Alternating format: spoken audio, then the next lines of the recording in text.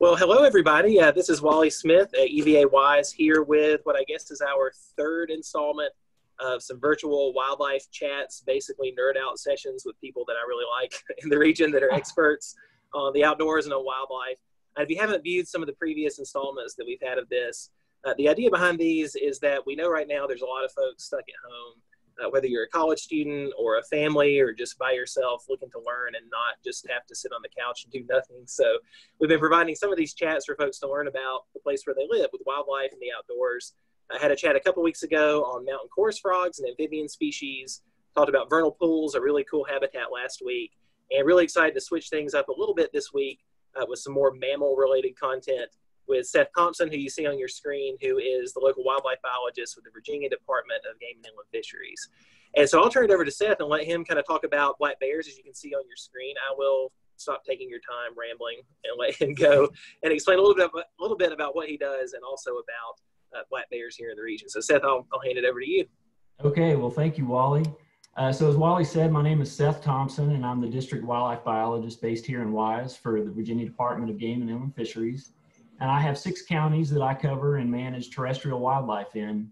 Uh, but what I thought we'd do today is talk about one critter that I definitely spent a lot of time uh, working on here, and that is the black bear. Um, there's a lot of misinformation about black bears, what they are, uh, what they are not, uh, and how to live with bears and, and coexist on the landscape with bears, especially here in Southwest Virginia. So I, I thought maybe we'd talk a little bit today about black bears talk about some of their biology and sort of their life strategy and how they get through, um, and to help kind of explain why they come into conflict with people.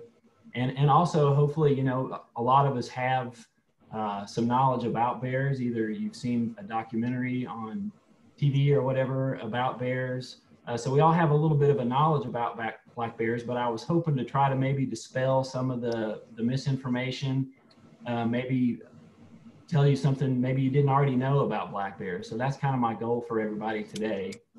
Uh, just for everybody's information, this is a bear in a yard in the city of Norton here in Wise County, uh, an issue that I respond to quite often. And it's just starting to, to ramp up. Bears are starting to come out of their dens and start and are hungry and are looking for easy meals. So this is a, a classic thing that I, I, deal with every year, starting about this time of year here in, uh, in Wise County.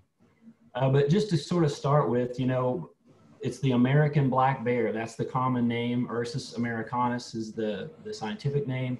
But they actually come in a multitude of, of color phases. Uh, and all these are the same species, same genus and species, the American black bear. But as you can see, they can be cinnamon colored, they can be blonde or brown, uh, even sort of a gray or slate color. Uh, out west in more dry or arid environments, they tend to be more of the cinnamon or, or uh, brownish phase. And a lot of times they get confused with grizzly bears, but those are definitely American black bears, uh, just in a different color phase. Uh, they also, we also have the Kermode Island uh, or spirit bear. Uh, you can see in the top right on the cover of uh, National Geographic. very white colored bear, really interesting, but these are all the same species that we have here in Virginia. All our bears here in the eastern United States are usually black. Sometimes there's some brown patches. Uh, sometimes they have a white chest patch, which is really cool. We see a lot of that here in Southwest Virginia. But these are all the same species. And another thing, uh, you know, claws, and this is something to sort of distinguish uh, black bears from other species of bears. Black bears evolved in, the, in a forested environment or near a forest. And their first instinct when they feel threatened is to climb a tree. And that's why they have real short little curved claws down in the bottom right. You can see that really are good for climbing. And that's really, you know, in a forested environment, when they feel threatened, they're going to run to cover, run up a tree. And then also they do forage in trees. Any any acorns, uh, apples, different fruits and things, they will climb trees to to eat those. Um, but on the top right, I, I, put just for a comparison, a picture of a grizzly bear's claws. And you'll notice those are really long, a lot straighter, and those claws are for digging. Um, grizzly bears evolved in more open country, and they do a lot of digging, either for um, ground squirrels or roots and tubers that grow out on the prairie or on the tundra. And that's also why they have that big hump. You hear about the big shoulder hump on a, on a grizzly bear. That's extra muscles to help them dig. So very different uh, environments that those two species evolved in. And that's why uh, the big difference in claws, but also differences in how they respond to threats. Uh, as I mentioned, black bears are really very passive um, and they tend to flee. Whereas a grizzly bear in open country, there's no trees to climb, there's no cover, and they, you know, so their instinct typically is to to be defensive and attack, and that's why people. Uh, you'll hear that grizzly bears are a little more aggressive and a lot more defensive of their personal space than what a black bear is. And black bears, again, they're very passive. They want to climb trees or flee. Um, I know I see a lot of white bears in the area, but usually I see their butt as they're taking off over the hill. And yes. that's the first time I see them when I'm hiking out in the woods. So I've experienced that for sure. Absolutely. And of course, their claws, you know, digging up insects, uh, defensive, um, fighting against other bears, maybe marking territory, those types of things as well. Uh, their senses, you know, they can see roughly a, about as well as we can, we think. They do see in color, and that helps them distinguish uh, ripe fruit on a bush, for example, or insects. Uh, and they have what's called the Jacobson's organ, which is in their vomeronasal region, uh, region of their nose. And that sort of help amplifies their sense of smell. A lot of is uh, written and discussed about bears and how well they can smell. And it's true, they, they can smell from very long distances, miles. And that Jacobson's organ is what helps amplify that sense of smell. And there's a lot of other wildlife species that have that Jacobson's organ. Um, dogs, uh, cattle, horses, uh, different species. I think snakes as well. Wally, maybe you can mm-hmm. speak to that. But yeah, it's it's very common, and it's it's something that helps amplify the sense of smell. Um, hearing is roughly that of a human being as well. Uh, and this is not aggression. I, I, have a lot of folks here in Southwest Virginia that say that bear stood up on me. And what they mean is it, it stood up. And basically, when a bear does that, they're just trying to get a better view or a sense of smell, maybe catch a, the air moving to, to, to try to get a sense of what you are and if you are a threat or not. But when a bear stands up on its hind legs, that is not an aggressive move at all. Uh, it's just a bear curious, trying to assess the situation and if you are a threat or not. As far as their behavior, you know, bears are mostly solitary except for family groups and during the breeding season. Uh, they're mostly active at dawn or dusk, but any any time of day. I have a lot of folks that will say this bear was out in the daytime. You know, there's something wrong with it, and that's not the case at all. Bears get up and are are active at any time of day. Uh, it is true that as the summer wears on and gets hotter out, that they are more active at night uh, when it's cooler. Uh, and they are omnivorous. You know, a lot of folks think of bears as being a predator, uh, and they do predate on maybe deer fawns or, or rodents or things like that. But for the most part, they're an opportunistic omnivore. They'll eat just about anything. Uh, and this is something I hear all the time. I'm afraid to go outside. I'm a prisoner in my own home and as we discussed a few slides ago, you know, black bears are very passive and their first instinct is to flee and get away from a threat. Um, so a lot of folks are really afraid of black bears, um, but they're just not out to get us. They're just a really passive animal that are just seeking out easy sources of food. And uh, I have to take my, my friends in the taxidermist business to task sometimes because they, they present bears with open teeth and claws and stuff that is not in their nature at all. Uh, they're a very passive, non-aggressive, uh, secretive animal. And you know, a lot of folks um, are amazed by this, but for every person that is killed by a black bear, because it does happen, it does occasionally happen that people are attacked and, and killed by black bears, but it's very, very rare. But for every one person that is killed in North America by a black bear, 60 are killed by domestic dogs, 180 by bees, 350 by lightning strikes, and 90,000 by other people. So statistically, you are far less likely to get killed by a bear than just about anything. I, I, I think the most dangerous thing we do is just get in our car and drive down the street. Um, so bears are they're just not out to get us. Uh, here in Virginia, we have rough anywhere from 18 to 20,000 bears in the state from our best estimates. And there's what, eight, eight, over 8 million people sharing the Commonwealth of Virginia together. So you'd think that if they were that aggressive and dangerous that people would be getting hurt just left and right. And it, it just doesn't happen.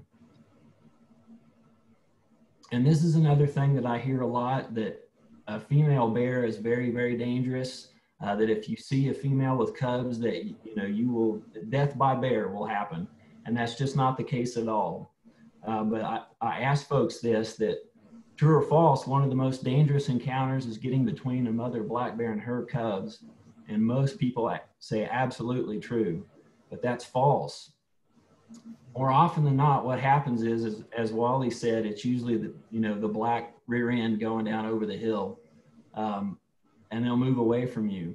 But if you do surprise them, quite often what happens is the mother bear will make a sound that we can't really hear, but the cubs can, and they will scamper up a tree, and mother bear will move off uh, and wait for the danger to, to go by.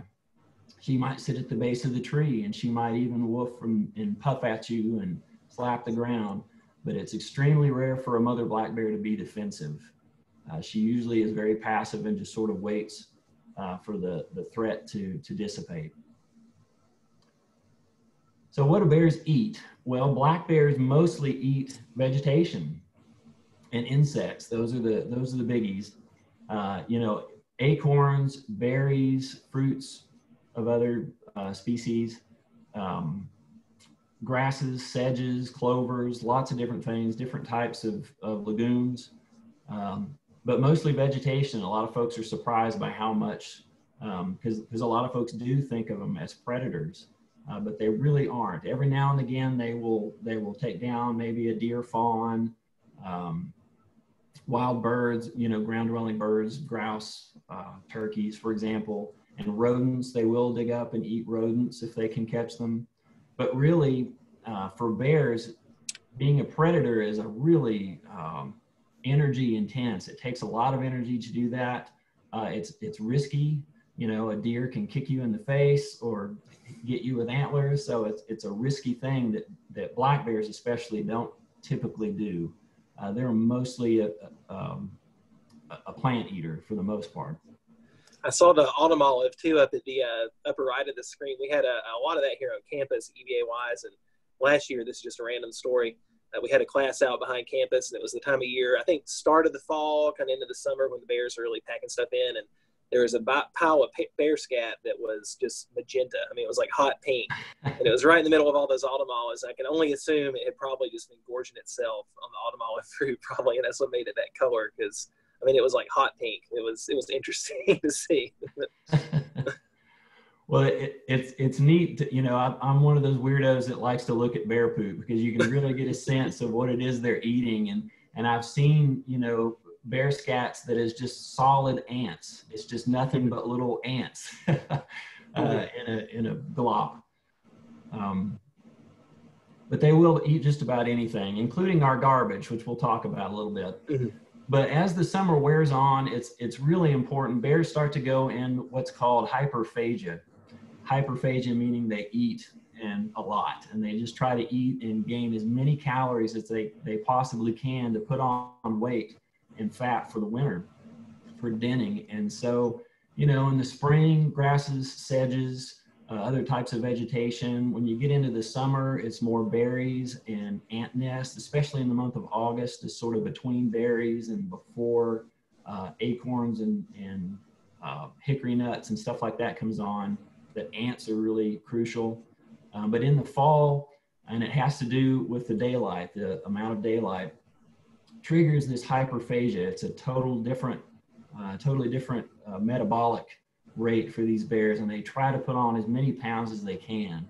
So it's really crucial. We have acorns, beech nuts, hickory, and stuff like that that comes ripe and falls in the in the fall of the year, and those are extremely important food sources for bears and other wildlife for that matter but bears take advantage of that. Any any food that's in abundance, uh, that's high protein, high carbohydrate, high fat, bears are going to really focus on uh, throughout the year. And so it's just crucial, you know, um, acorns, hickory nuts, all those things, berries are very, uh, they vary a lot from year to year. Some years we have good berry crops, some years we don't, and so on. And so years where a bear, we have a lot of good natural foods, you know, maybe there's a good berry crop, maybe there's a really abundant uh, acorn crop in the fall. Bears put on weight, they're doing really well. Survival uh, is much higher, and they tend to have more cubs in those years.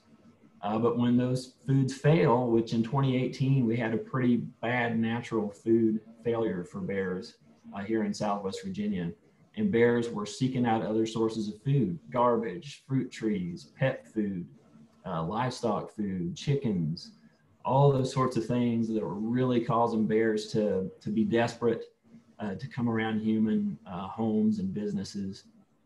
And I got a lot of phone calls that year. it was pretty crazy, but bears were really having a hard time. Uh, so, very important. Uh, but this is something that's really interesting. I, I, mentioned, you know, typically July and August, bears are really looking to find ant nests, uh, wild bee nests um, for the larva and honey for, for bees especially. But something that's really interesting in insulation of hot tubs, ATV covers, that type of material is formaldehyde. And formaldehyde over time breaks down into formic acid. And it turns out that ant nests also produce formic acid. So what happens is bears mistake these hot tub covers or anything with formaldehyde in it for possibly an ant nest. So what happens is insulation on houses smell like ant nests sometimes to bears.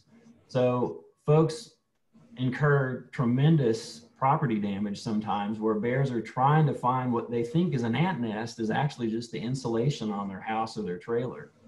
And so we have some really significant hundreds, even thousands of dollars of damage uh, that insurance policies do not cover. I was about and, to ask that if they cover that. So. No, and it's uh, it's a real nightmare. It's it's a tough one because people are scared. They're they really assume that this bear is coming in the house and going to get them, and there's all you know hundreds if not thousands of dollars of damage.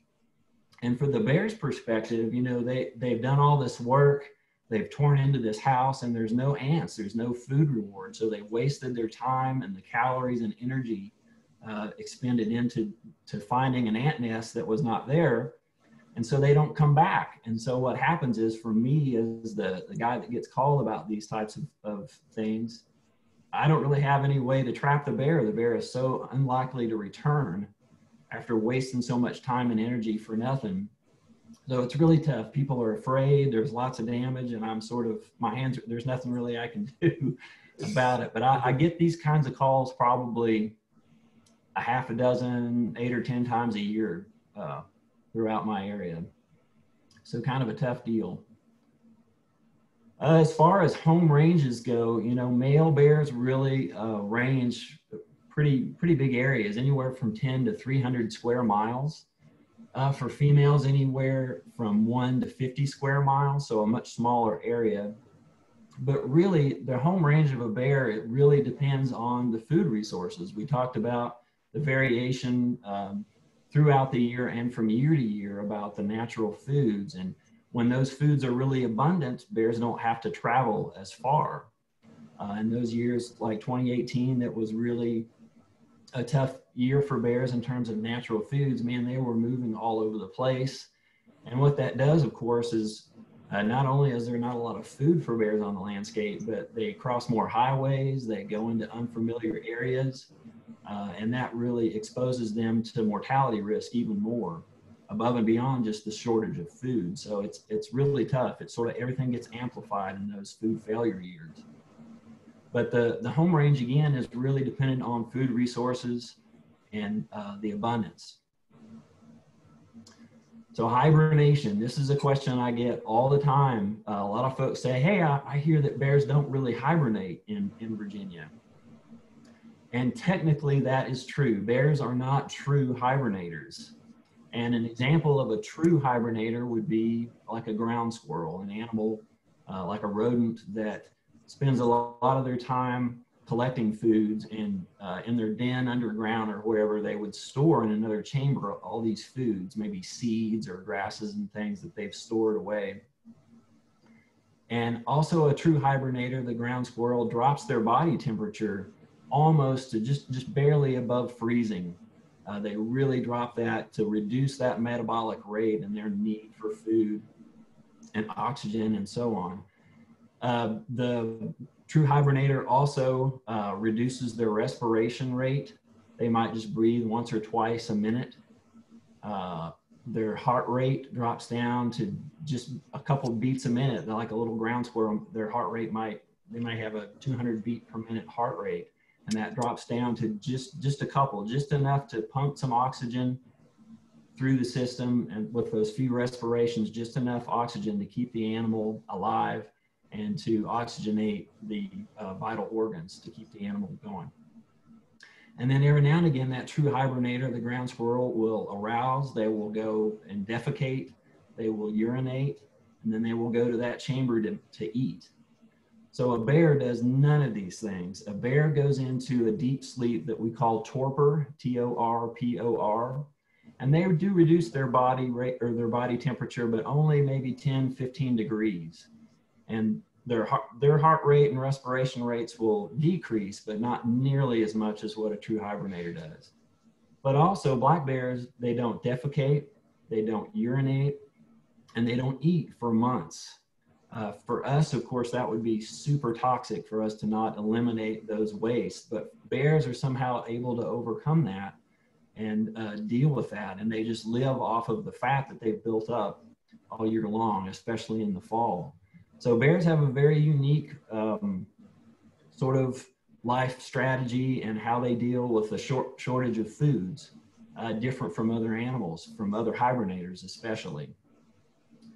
So do hi- bears hibernate? Technically, no, but they do go into torpor and den up basically because there's no food available and they just live off of those fat stores. Bears typically enter dens anywhere between October and January. Uh, females that are pregnant and going to have cubs are the first ones to go in their den, followed by females with dependent young. And then younger bears and males typically go in to their dens later, uh, December, January. We've seen mostly in Virginia bears um, go into rock cavities or have ground dens, maybe under a, an uprooted tree and get under the, you know, underneath the uprooted part of the roots of the tree is a, is a good place. Um, but we've seen them in mine portals uh, here in Southwest Virginia, in uh, tree dens as well. Uh, down in the bottom left, you can see this little bear was going to den under a deer carcass, um, but mostly uh, ground dens uh, here in, in Virginia. In some places, especially like in the, the Mississippi Delta, Louisiana, Mississippi, those areas, uh, more swampy areas, bears will den up in trees. They'll climb up into trees and stay up above water. But here in Virginia, mostly ground dens. Uh, as far as reproduction, uh, usually females will reproduce at three to four years of age, and then every two years they will uh, have cubs. And they breed anywhere between June and August. Typically, June and July are usually uh, when most breeding occurs and females may mate with multiple males. They could have, even within one litter, they could have uh, cubs uh, fathered by, by multiple males.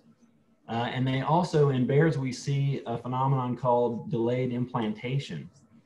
And basically, what happens is when the female is bred in June or July and those eggs are fertilized, those eggs basically float around in her uterus until sometime in December.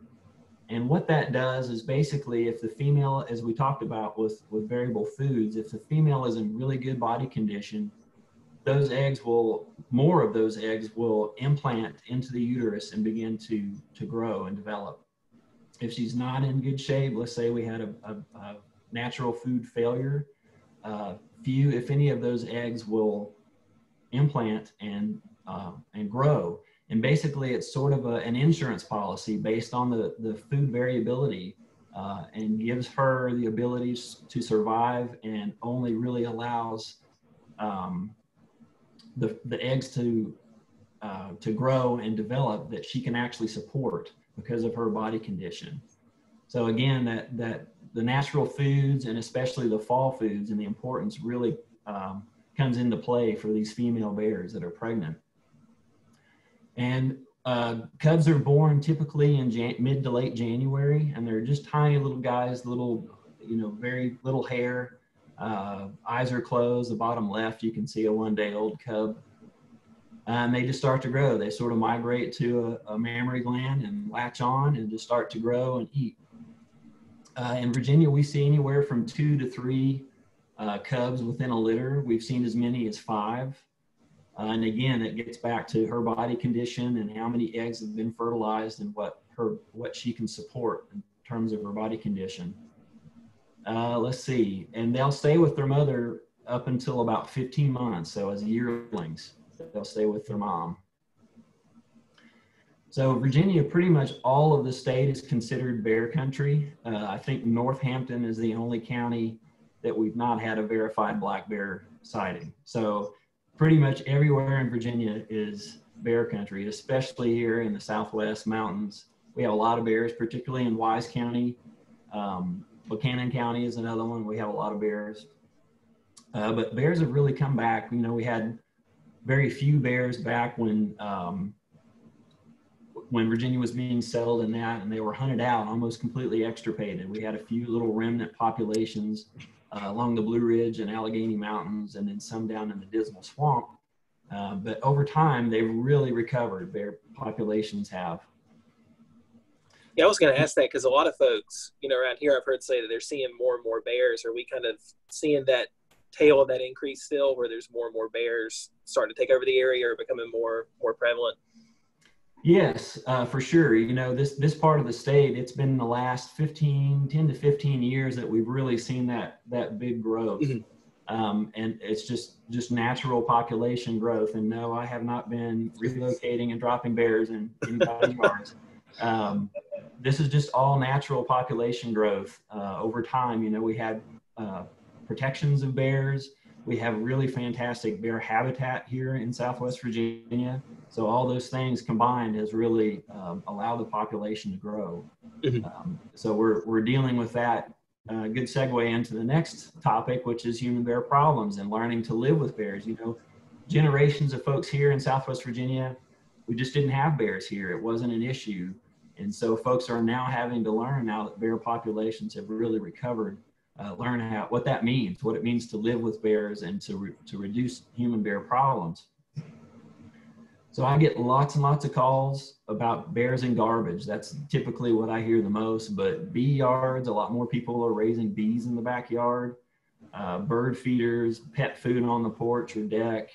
Those are the types of things that bears really find as an easy meal and get into and, and results in some sort of issue or problem. So we really um, try to work on the prevention side of it. We try to are, are teaching folks to think about bears to prevent the conflict and problem from happening to begin with by reducing, um, securing, or removing things that might attract a bear to your your property, such as garbage, bird feeders, uh, beehives, pet food, all these types of things, and just try to prevent. You know, I, I can come and trap a bear and remove that bear or relocate the bear but if you still have garbage and stuff on your property, you're going to have another bear uh, because of that population growth and that we have. It's just a matter of time before another bear shows up. So that's why we, we emphasize uh, prevention when it comes to conflicts and problems. And so when you get back and you think about a bear, you know, they have to eat enough in six to eight months to sustain them for 12 months. And so that really you get a sense of what they have to do and, and to put on weight and to survive a full 12 month cycle. You know, when you look at the list over here of things that we have that we throw away in our garbage, that, you know, the amount of calories and what that means to a bear. Uh, you know, bird seed, seven pounds of bird seed has over 12,000 calories. so you can see why that would be, you know, for a bear just trying to survive, why they would be so attracted. Dog food, 42,000 calories in a 25 pound of Purina dog chow. so you can understand, you know, from a, uh, energetics and and need of calories why they would they would come around especially in years of, of food failures uh, why stuff that we have around our homes would be so attractive to a bear in terms of their survival so we have lots of stuff going on here in southwest virginia there's clark's welding down in appalachia a local welding shop they've done a fantastic job they've been making these bear proof lids with uh, with lids that bears cannot get into and the local garbage haulers really like them, and it's just it worked out really great.